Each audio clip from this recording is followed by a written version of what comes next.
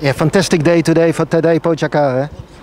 Yes, it's amazing day. Our our goal this morning will, was to not lose time. At the end, he won 10 seconds. I don't think it's so big difference, no, in, in the 10 seconds. But what it was important was to see how he's good in the on the cobblestone, how he's good in, in his condition, how he can manage the stage. And uh, yeah, unfortunately at the end he was uh, alone because uh, Brandon he crashed but he managed so well the situation and uh, for us is is an incredible very good day. It was the total day that he was on all the zones. He was by the first on the cobblestones eh? this, this was the plan now to place uh, him in the first and the second uh, cobblestone sector because we know after the second is uh, the sector where uh, cobblestone was very very close uh, one each other now and then was not so much complicated after that to be to be always in the front. It's just question to have a good ability, to have also uh, a good condition like that they have in this moment. So for us, for one part of our team, was important to to work before the cobblestone to save a lot of energy. Primoz Roglic lost a lot of time. I think that is the big win for you today.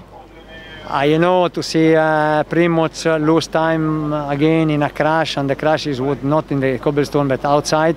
You know, uh, that's that's uh, is what we was carried this morning, you know, because this kind of stage is what can happen, not not physically, but for many other reason, uh, you you can lose time.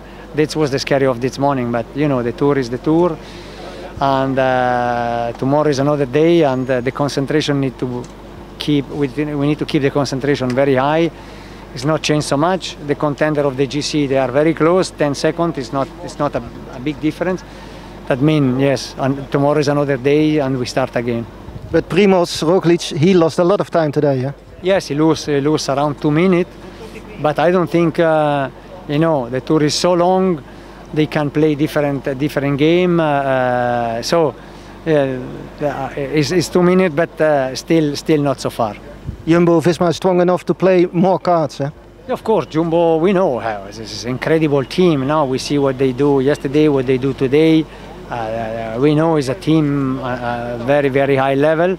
But it's again, no, for us, uh, uh, I think it's not changed so much. Eh? It's not changed so much. We need to stay concentrate and take day by day.